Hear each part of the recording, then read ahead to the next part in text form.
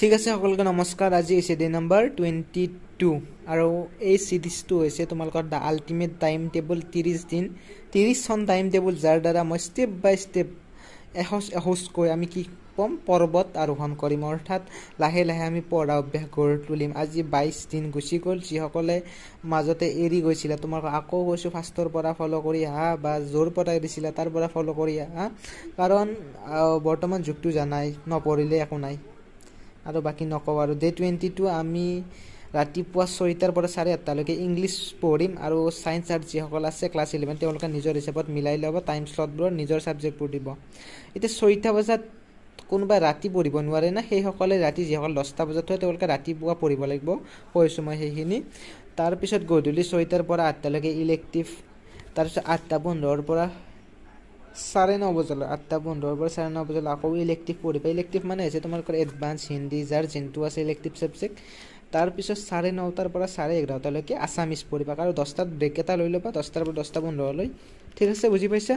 অসমীয়া পঢ়িবা। অসমীয়া এতিয়া এনেকুৱা হিচাপত পঢ়িবা চব ছাবজেক্টে যে পৰীক্ষাৰ পৰীক্ষা হিচাপত এনেই পঢ়ি আছোঁ বা এনেকুৱা নহয় পৰীক্ষা। তাৰ এতিয়া অসমীয়া কবিতাৰ সাৰাংশ লিখিব আহিব। এতিয়াৰ পৰা প্ৰেক্টিচ কৰি যাব লাগিব যে সাৰাংশটো এনেকৈ লিখিম পৰীক্ষাত আহিলে এনেকৈ লিখিম মূলভাৱ আহিলে এনেকৈ লিখিম অৰ্থ শব্দ অৰ্থ লিখিব আহিলে এইটো এনেকৈ লিখিম। গতিকে এতিয়াৰ পৰা এক্সামৰ প্ৰেক্টিচ কৰি যাব লাগিব। তাৰপিছত দিনত পঢ়া দিনত চাৰে তিনিটাৰ পৰা পাঁচটালৈকে বা তোমালোকে ভাত খাই উঠি যেতিয়া যেনেকৈ ৰেষ্ট কৰা লাহে লাহে ইউটিউবত এডুকেশ্যনেল ভিডিঅ' চাবা যাতে বেছি কষ্ট নোহোৱাকৈ সেইখিনি সময়ত কিছু শিকিব পাৰি।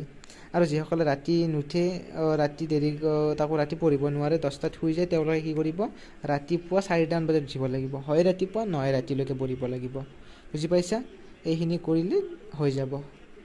বাকী ধন্যবাদ। জয় অসম সকলোৱে ভালকৈ পঢ়িবা। আৰু এই চিৰিজটোৰ মতো কি আছিল? ছাত্ৰীসকল শিক্ষাৰ প্ৰতি যাতে জাগ্ৰত হয় আগবাঢ়ি আহে সেইটো। আৰু যদি ছাত্ৰীসকলে কিছুমান এনেকুৱা দেখা পাওঁ যে কেতিয়াবা কয় ছাৰ মোৰ এইটো নাই সেইটো নাই বা এনেকুৱা কষ্ট হয় ইমান কাম কৰিব লাগে ঘৰত। এটা বস্তু চাবাচোন হেলেন কেলা কেলাৰৰ নাম শুনিছেনে? Helen Keller.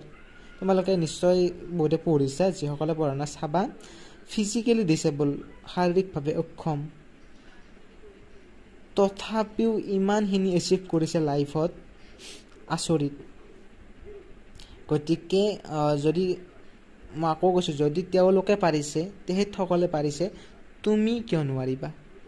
নিশ্চয় পাৰিবা আৰু চেষ্টা কৰিবা সেইবাবে। বাকী আজি এৰিছোঁ। ধন্যবাদ।